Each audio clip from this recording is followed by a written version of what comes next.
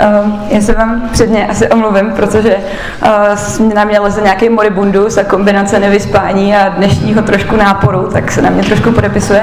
Takže kdybyste mi nerozuměli, já to milé ráda zopakuju a chápu, že asi nejsem úplně moc dobře slyšet. Děkuju. Netřískej těma dveřma. Tak, uh, já jsem, když jsem si vypisovala tohle téma, tak jsem trošku přemýšlela nad tím, jestli uh, se mi tady sejdou lidé, kteří třeba někdy něco organizují. Můžu se jenom zeptat, organizovali jste někdy něco, třeba oslavu narozeniny nebo nějakou větší akci, konferenci a podobně? Kdo jste někdy něco organizoval? Super. A můžu se ještě zeptat, proč jste tu? Máme tě rádi. Děkuju. Nějaký jiný důvod? No, když je toho víc, tak jak to všechno zvládat, mm-hmm. co tam máš napsat? Mhm, jasný. Levelu. Čo konkrétně? Ne, na, na mém levelu. A když mě neznají lidi? Ale chceš se přiblížit prostě nějakýma typama. jo, dobře, děkuji. Ještě někdo něco? Při organizaci chci větší počet lidí. Větší počet lidí. Jasně. Dobře. Sto? By to... Sto a vejš jako jenom na organizaci. To jsem ještě nikdy neměla asi, ale... Ne, ne, ne, ne, jako účastníků. Jo, účastníků, jako sto, sto a vejš, eh, když něco organizuješ. No, ty jsi nějak 300 vy. No a tady je dneska 400. 400? No. Já se k tomu dostanu. Tak jo, tak kdo mě neznáte, tak se jmenuji Denisa Wagnerová, spousta lidí mě zná právě pod přezdívkou Endis. Uh, jsem právě pořadatelka několika akcí na západě jihu, teď už i středu Čech. Pořádám různé konference, plesy, akce, workshopy.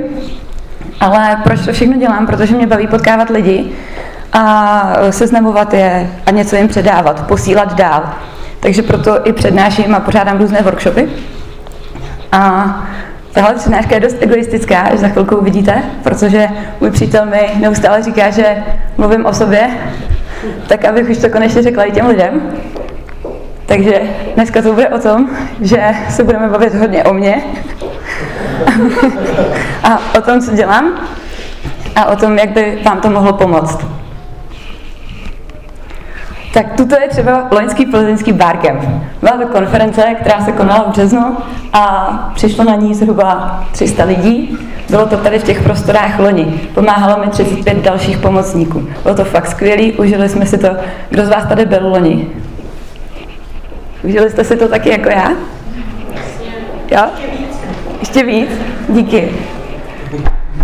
Tak, protože Plzeň mi nestačí, tak jsem se rozjela trošku na jich, takže uh, jsem začala pořádat vlastně se skupinou dalších lidí Barkem České Budějovice a e-shop Weekend ve Vodňanech. Uh, tyto akce byly velmi zajímavé, v něčem se povedly, v něčem se nepovedly. Byl jste někdo? Byl jsi? A kde pasy byl? Na Budějickém, na prvním. I na druhém. Který byl lepší? Druhý. Učíme se z chyb, no, proto potřebujeme feedbacky. A další, co dělám, tak jsou různé exkurze. Jsou to exkurze do Temelína, do České televize, do, na různá zajímavá místa. Byli jsme třeba v pražských kolektorech, dostali jsme se do, do čističky odpadních vod. Někdo něco? Ne. Do čističky odpadních vod a podobně.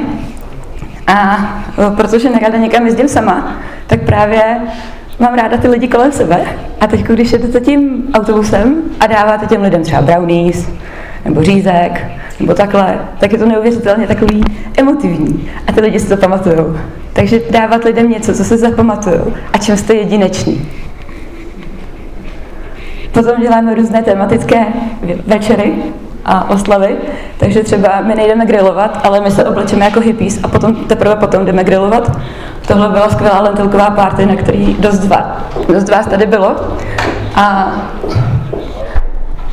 a jo, jo, tady si, tady si, Vašiku, seš tam. No. A třeba, třeba na tu akci jsem si dělala sama občerstvení a měla jsem tam napsaný seznam alergenů. Na to taky jako jen tak někdo nezapomene. Takže opět to jsou věci, které můžou být zajímavé pro ty lidi. Kdo jste studoval na Západočeské univerzitě? Byl jste někdy někdo na studentském plese? V posledních sedmi letech?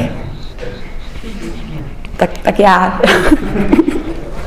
já a dalších, dalších x lidí, kterým s tím pomáhalo, vymýšlíme každoročně jiný téma. Ten ples je zajímavý tím, že se koná jenom jednou za rok. Po každý vyprodáme park hotel. Letos jsme tam nadspali 13 lidí, bylo tam nedýchatelno, víme to. Uh, jsou to různý uh, takový pointy, který se snažíme nějak eliminovat, ale třeba i tady máme ten problém, že nejde klimatizace, protože by nám to rušilo nahrávání. Takže to je třeba důvod, proč nejde ani klimatizace třeba v park na velkých konferencích a akcích. Tak jedno z dalších věcí, na kterých jsem se podílela, tak byly plzeňské business kotle, které jsem moderovala.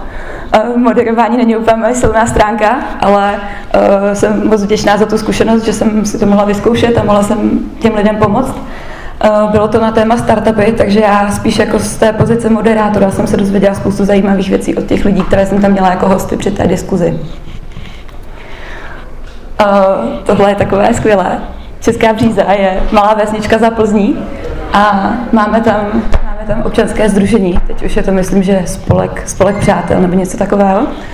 A pořádáme tam akce pro děti. Uh, konají se čtyřikrát do roka a je to takový vtipný, protože tam přijedete, tam je ten kulturák trošku komunistický, ale ty lidi jsou hrozně nadšený a jsou rádi, že tam jsme a že tam děláme něco pro ty děti. Uh, tady je Zuzka Lhotová, která navrhuje Uh, má hrozně hezký projekt, navrhuje uh, zlátek se vzory z Tanzánie, šaty evropského stylu. A objíždí s tím různé přednášky, fe, festivaly, uh, přehlídky a podobně. Tak jsme jim s holkama trošku pomohli a zahráli jsme si na modelky. Pecka. Uh, Verča Gréku, kolegyně tady z organizačního týmu plzeňského barcampu, tak působí jako social media konzultant, a dělala na projektu s Milkou. A my jsme se jí trošku snažili pomoct, takže jsme s dalšími lidmi na jedné konferenci běželi pro toho Jirku, což bylo opět pro nás hrozně moc emotivní. Seznámili jsme se s dalšími lidmi, nabalili jsme na sebe neuvěřitelné množství těch lidí, kteří běželi s náma a začlenili se do toho projektu. A pak samozřejmě pomáháme dobré věci. Ne, nevím, jaký kdo na to máte názor. Věřím, květinkám a věřím kuřeti. Prostě taky budu podporovat. Bílá pastelka ještě také dobrá. Tak a pak ehm, to je takové trošku moje jakoby životní, životní mozo posílat to dál, protože co se někde dozvím a můžu tím někomu pomoct nebo ho někam posunout, tak si myslím, že je dobrý to poslat dál. Proto posílám dál i teď. No a teď proč jsme tady, jo? To bylo takový, jako co všechno dělám a jak se mám. Kdybyste sledovali ty datumy, tak to všechno bylo za loňský rok. Tak a teď co mi funguje? Znáte někdo techniku Pomodoro, techniku rajčátek? Tak je to technika, kdy, eh, která vznikla eh, z minutky, proto je to Pomodoro jako rajčátko, jako kuchyňská minutka. A nastavíte si tam určitý časový úsek, třeba 15 minut a při těch 15 minutách řešíte jenom jeden problém. Nic jiného, jenom ten jeden problém. Pokud vás napadne něco jiného, ahoj, uh, ano, tady ti držím židli, Honzo, tady ti. Uh, ta technika Pomodoro. Nastavíte si ten určitý časový úsek a během toho časového úseku děláte jenom jeden problém. Pokud vás napadne něco jiného, tak si to napíšete vedle na papír, ale opět se myšlenkově vrátíte k tomu danému problému protože mozek je schopný vrátit se do dvou minut zhruba a potom zapomíná na to, kam jste se dostali. Je to třeba takový to, když řešíte problém a teď se najednou zamotáte, ale vy už se vlastně dostanete k jádru toho problému, ale myšlenkama se zamotáte někam jinam a potom už se nestihnete vrátit. A nestačíte se vrátit a pak vám zase dlouho trvá, než se dostanete znovu do toho bodu a než to znovu celý vymyslíte. Proto je tohle pro mě fakt dobrý, že pracuji jenom na jednom úkolu Konkrétně u mě 15 minut, protože pro mě je ta čtvrt hodina taková, že něco stihnu. Je to pro mě konstruktivní a efektivní. Potom si dám pět minut pauzu, kdy jdu pryč z toho pracovního místa. Jdu prostě ven, kouknu z okna, jdu na záchod, dám si kafe, něco takového. Ale jdu prostě pryč z toho místa, kde pracuji, abych tam na to nekoukala a nenutilo mě to o tom přemýšlet dál. Po těch pěti, pěti minutách se vrátím a dělám na něčem jiném. Ne, že opravdu dodržuju 15 minut, protože takhle udělám hodinu, 15, 5, 15, 5, 15, 5, a pak si dám třeba 20 minutovou delší pauzu a znovu se vrátím k tomu úkolu číslo 1, jakoby. 1, 2, 3, 3 pomodora, 20 minut pauza a zase 1, 2, 3, pokud si to ten úkol vyžaduje. Samozřejmě je možný si nastavit to pomodoro, jak chcete dlouhý vy. Může to být pět minut na vyřizování mailů. Funguje mi taky dobře úklid. Pětiminutový úklid. Nevíte, co, je, co prostě stihnete uklidit za pět minut. Neuvěřitelný. Funguje to, když se nastavíte třeba na mobilu, fakt těch pět minut, klidíte celý byt, takový to, to povrchní. Tak máte někdo nějaký dotaz? K pomodoru. Ano. Funguje ti to přeskakování, že jakoby se vrátíš až vlastně po Uh, trvalo mi to díl, ale já, nebo takhle, díl. Já, mě, mě spíš jakoby ze začátku mi vadilo, že jsem přeskočila z toho úkolu. Já jsem chtěla přijít a pokračovat na tom rozdělaném. Ale teď jsem zjistila, že je fakt efektivní to chvíli nechat uležet a potom se vrátit s novýma myšlenkama, s novýma nápadama a takhle, k tomu prvnímu vlastně. Takže to, že děláš v jedné hodině tři různé věci, tak to jako nerozhazuje fokus, jo? Ne, ne, ne. Já se jakoby v tom daném pomodoru se prostě soustředíš jenom na ten jeden úkol. Už teď já to zvládnu. Je to těž, těžší ze začátku. Záleží na tom, jako na, jak jste nastavený taky. Dobrý. Tak jo, tohle je můj Google kalendář, protože pomáhá lidem kolem mě. Já ho úplně nenávidím, protože mi cinká, chce po mně aktualizovat, eh, chce po mně, abych tvořila eventy a zvala na ně lidi, ale pomáhá to lidem kolem mě, protože já potřebuji vědět, aby mý spolupracovníci, kamarádi, kolegové věděli, kde já jsem a jestli mě můžou rušit nebo nemůžou. Konkrétně tohle je týden před Budějovickým parkempem. A kde opravdu pro mě je důležitý vědět, kdy mi někdo může zavolat a kdy ne. Protože třeba jsem na schůzce, jsem někde na obědě na pracovním a podobně. Takže já to potřebuji sdílet. Ano. Se zeptat, co to je uh, event uh, rtěnkování? Jo. Event rtěnkování je, uh, a jak to mám popsat? To řekni Uh, kosmetické setkání ženských, kde jsme si teď tady ukazovali rtěnky teda. Máme třeba i řasenkování, make-upování a tak. Jestli, jestli chceš, já tě pozvu. Čo je, to v pravidelnom rohu? Uh, já jsem v těle ženy, to je tancování. To je, že se, že se uvolníš a, a tancuješ. Je to tanec pěti rytmů. Jasné. Já, To ještě někdo něco? Důležitý je, že tohle pomáhá lidem kolem mě, ne to, co tam je napsaný. Já, pod, já teda používám tušku a papír. A diář. Normálně papírový, klasický, protože já si tam můžu nalepit spoustit papírky, můžu si to tam barevně znázornit, můžu si tam nalepit jablíčka, tuštičky a podobně. A já si dost pamatuju to, co je barevný, takže vlastně to, co jako je tam zvýrazněný pro mě, tak je pro mě mnohem jako lepší a tak. A hlavně můžu to tam mít v jakýmkoliv tvaru. Tady mám jenom obdelníčky nebo čtverce. Tady.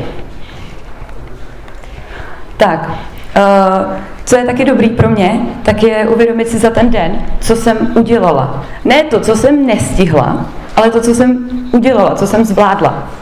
Hodně lidí to má právě opačně, že si říká, a ještě tohle nemám, a ještě toto jsem zapomněl, a tady něco, nezavolala jsem, hotovo. Ne, dobrý je si uvědomit, co jste za ten den právě naopak udělali, protože ten den potom pro vás bude jakoby kladnej a plusový a vy budete spát s takovým tím pocitem, že jste fakt něco udělali.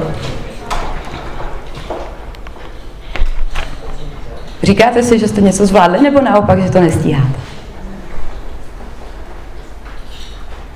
Tak? Ty nestíháš. Kdo, tak si, kdo si tak jako řeknete, že jste něco za ten den zvládli a pochválíte se za to? Je, je vás málo, no. Ale je dobrý na tom zapracovat. Tak, co je pro mě důležité v rozhodování, tak je Paretovo pravidlo. Uh, znáte Paretovo pravidlo? Kdo ho zná? Dobře. Uh, pro mě Paretovo pravidlo je třeba tohle. protože... Uh, není to jenom teda u oblečení, to i u dalších věcí, ale jde o to vytáhnout opravdu 20% těch všech věcí, které zajistí 80% úspěch. Je to stejné jako s tím úklidem. Prostě když mi přijde tchýně na návštěvu, no tak je jasný, že prostě uklidím úplně všechno a vypígluju všechny pavučiny a vyperu záclony a tak. Ale když mi přijde někdo, kdo vím, že půjde jenom do obýváku, tak prostě uklidím takový ty ponožky a utřu stůl a vlastně je hotovo. Takže prostě najít. Pokračuj. Jo? Uh, najít těch 20%, který vám opravdu zajistí ten většinový úspěch a ten většinový efekt. Není, nemám to teda jenom u oblečení, mám to i u bod. Tak k tomu oblečení musím nějak jako vypadat, že jo. No. Tak. Zvládneš tady těch 20% bez těch 80? Uh, Ty si jako řekla, tady mám sadu, že jo, a vím, že těhle 20%... to nevíš. No To, právě. to nevíš, To je jako právě to, těch, těch... děláš těch 100, tak nevíš, co je těch 20 důležitých. Jasně, ale je dobrý, prostě si, uv- jako mě to spíš pomáhá i v rozhodování. Třeba uh, vytiskneš nějaký papíry a jeden se ti vytiskne špatně. A když by se ti třeba, když by se to měl vytisknout celý znovu, tak ti to zabere spoustu času. A když ten jeden dáš pryč, tak to nebude, jako, tak si myslím, že to vyjde líp, jako, jo, a pro tebe efektivnější a podobně. Tak, já bych vás poprosila. Já tady mám takovou židli od začátku. Jestli byste se mohli všichni stoupnout. No jo, no. Tak, a teď se prosím snažte si sednout. Ne, vy se nesnažíte. Jenom se snažte si sednout. Co? Jde to? No snažte se si sednout. já ne- nevím, jako jestli snažení vypadá jako takhle, nebo nebo jako takhle. Prostě když si chcete sednout, tak si snad sednete, že jo? Jde mi o to, že když se o něco snažíme, tak to vždycky stojí za hovno. Jo, musí to... Protože to snažení jako končí tím, že to nejde a že to vlastně udělám až potom a pořád se jenom snažím něco udělat. Když to chcete udělat, tak to fakt udělejte. Jako je to u všeho. Když někomu něco slíbíte, tak to udělejte. Ne snažte se to udělat. Protože když se furt budete jenom snažit, tak nikdy, nikdy nic nedoděláte, nikdy nebude nic dokončený a vám to akorát bude pořád vrtat v hlavě, proč to není, protože se pořád jenom snažíte. Uvědomit si, že nic není dokonalý a nikdy nic dokonalý nebude. Já jsem perfekcionista, bojuju s tím, uh, nejde mi to, ale snažím se tady, ano, přesně tak, já se tady snažím pořád si říkat, že nic není dokonalý a že nikdy nebudu jakoby spokojená s tím, když to nebude dokonalý. Což je pro mě neuvěřitelně špatně a je to takový můj úplně neuvěřitelný vnitřní boj, že nic není dokonalý a nikdy nebudu s ničím spokojená. Takže se smířte s tím, že fakt nic nemůže být perfektní a nic nikdy není na 100%. Nikdo neudělá nic, jako kdybyste si to udělali sám. Nevím, k tomu asi... K tomu, k tomu asi nemám úplně co dodat. Ale uh, je dobrý si přiznat, když na něco nemáte. Když něco vám trvá dlouho a stojí vás to úsilí, snahu, musíte si najít spoustu materiálů k tomu, strávíte na tím spoustu času, tak si prostě přiznat, že na to nemám a delegovat to. Dát to někomu jinému. Dát to někomu, koho to bude bavit. Kdo to udělá s láskou. Kdo prostě vám tím bude chtít pomoct. Protože ten člověk to udělá pro vás rád, nebo za nějaký peníze, za finance podobně. Ale udělá to pro vás mnohem líp, rychleji, efektivněji a vy budete mít lepší pocit z toho, že nemusíte se s něčím opravdu jakoby prdět, protože vás to nebaví a neumíte to tak, jako ten člověk. Delegování je důležité. Společně s delegováním umění říkat ne. Kdo umí říkat ne? Fakt jo. To tak vás obdivuju, jako. Není problém. Tak to děláš. já, se, já se snažím. Já se stále snažím říkat ne. Tak se nesnaž. No. děkuju, děkuju, děkuju Heky. Uh, Přesně tak, no. Já se snažím říkat ne. U toho je taky důležitý pojmenovat si ty věci. Já o sobě vím, že neumím říkat ne a že se to snažím naučit. Že se snažím prostě chápat věci tak, že nejsou dokonalý.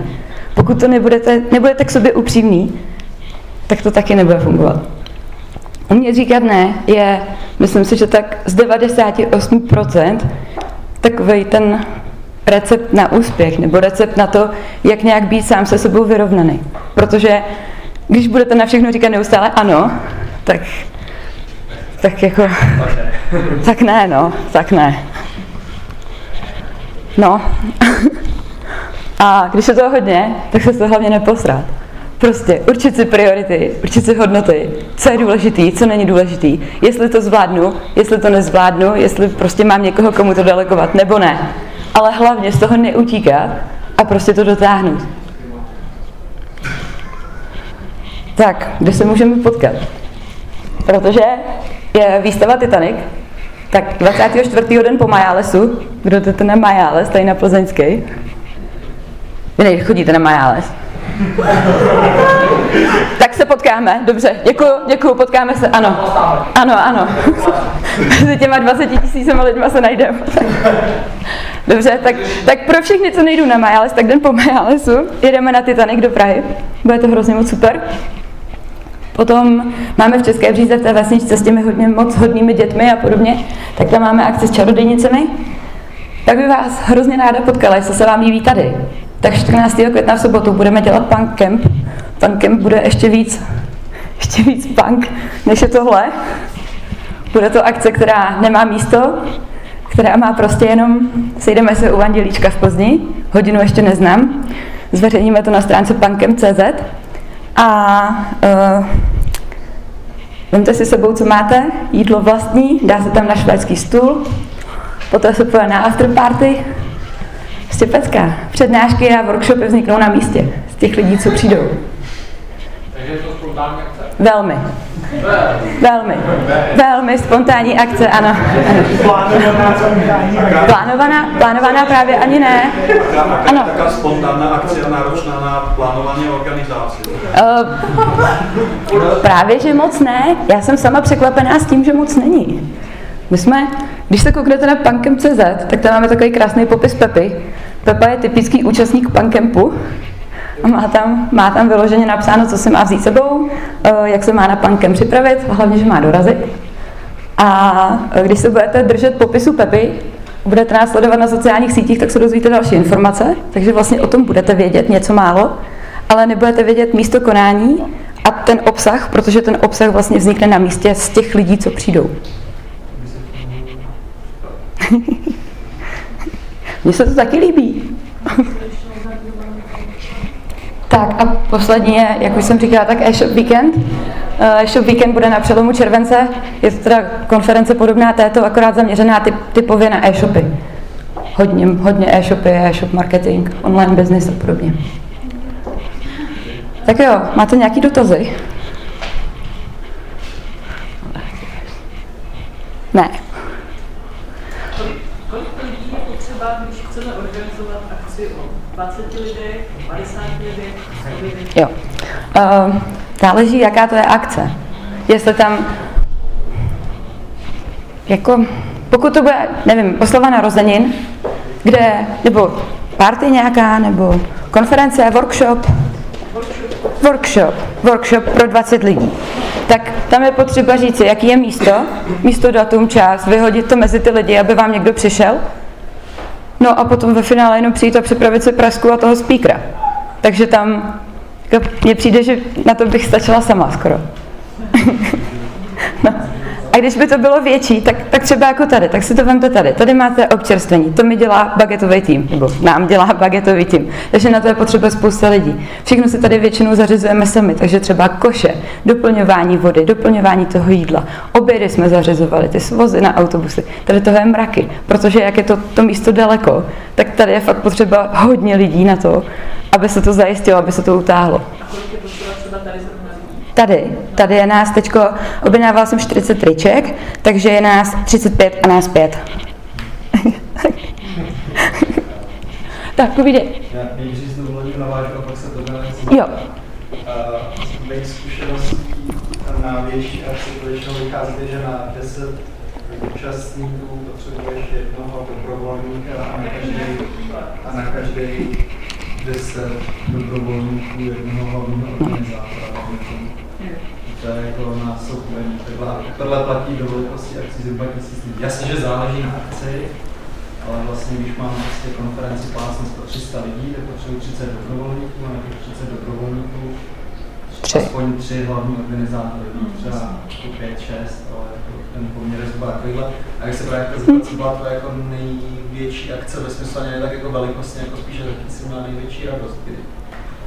Největší radost jsem měla z Budějovického barkempu teda. Z, toho teď, teď v únoru, protože my jsme, my jsme změnili... Pardon, no. jako samozřejmě Plze, Plzeň je pořád Plzeň, ale my jsme se v těch Budějovicích báli, že jak jsme změnili termín, změnili jsme místo konání a hlavně jsme se třískali s, v Setínským barkempem ve Zlíně. Protože vlastně vypsali, No, no, jasně, bylo to, děkujem, bylo to super tam, pecka, ale já jsem z toho měla právě strach, ale um, kluci, co jsou právě se mnou v týmu, tak by přemluvili, ať si čím neuhýbám, že jsme prostě byli první, že Michal Berg to věděl, takže prostě, že prostě v Budějovicích to bude tak, jak jsme si naplánovali a že nebudeme s ničím uhejbat. A mě právě překvapilo, že vlastně jediný, co se nám tam posralo, tak bylo, že jsme zapomněli tady v Plzni krabici s kancelářskými potřebama. To bylo celý. Jinak tam, tam jelo úplně, to bylo neuvěřitelné, opravdu, tam jelo úplně všechno. Tam my jsme měli třeba gulášovku a nevěděli jsme, jestli ji tam ohřejeme.